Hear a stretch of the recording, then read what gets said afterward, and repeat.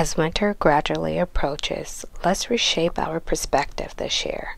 Like every other creature on earth, we have our role to play.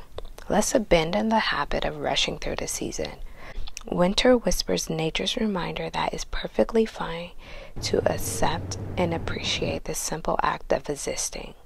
Let's collectively sidestep seasonal depression and truly immerse ourselves in the act of listening, resting, and resetting.